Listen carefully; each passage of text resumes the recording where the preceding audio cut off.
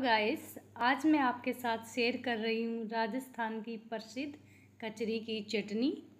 जब सब्ज़ी से मन भर जाए तो इस चटनी को ज़रूर बनाइएगा। ये खाने में बहुत ही टेस्टी लगती है। तो इसे बनाने के लिए हमने कुछ कचरियाँ ली हैं। इनका छिलका हमने उतार लिया है। कुछ कलियाँ हमने लहसुन की ली है और चार पाँच हमने सूखी साबुत लाल मिर्च ली है। इस चटनी को आप सिलबट्टे पर बना सकते हैं। सिलबट्टे पर बनाई हुई चटनी खाने में बहुत ही टेस्टी लगती है, लेकिन आज हम इसको मिक्सी में पीस कर बनाएँगे। तो इसके लिए हम एक ग्राइंडर ले लेंगे और इसमें हम सब कचरियों को डाल देंगे और लहसुन की कलियों को भी डाल देंगे और मिर्ची भी इसमें डाल देंगे। अब हम इसमें टेस्ट के अकॉर्डिंग थोड़ा सा नमक ऐड कर देंगे और अब हम इसमें थोड़ा सा पानी डाल देंगे। पानी हमें ज़्यादा नहीं डालना है, क्योंकि कचरियों में पहले से ही पानी रहता है तो इसको हम पीस लेंगे।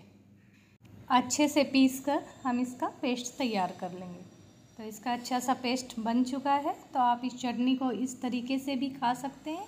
ऐसे भी ये चटनी बहुत टेस्टी लगती है, लेकिन हम इसको तड़का लगाएँगे। तो गैस पे पैन रख दिया है, इसमें हम एक चम्मच देसी घी डाल लेंगे अगर आप चाहे तो इसको तेल में भी बना सकते हैं, लेकिन देसी घी में इसका बहुत अच्छा ही टेस्ट आता है। तो एक चम्मच जीरा डाल देंगे, एक चुटकी हींग डाल देंगे और इसको अच्छे से हम तड़कने देंगे।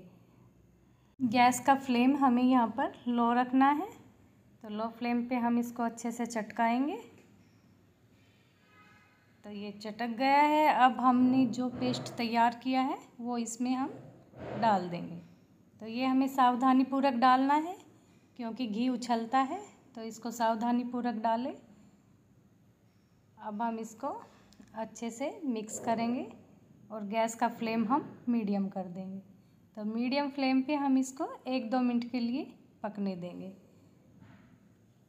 कचरियों को काट कर और धूप में अच्छे से सुखाकर हम इसका पाउडर बनाकर महीनों तक हम इसे स्टोर करके रख सकते हैं और जब भी हमारा मन करे हम इसको बनाकर खा सकते हैं।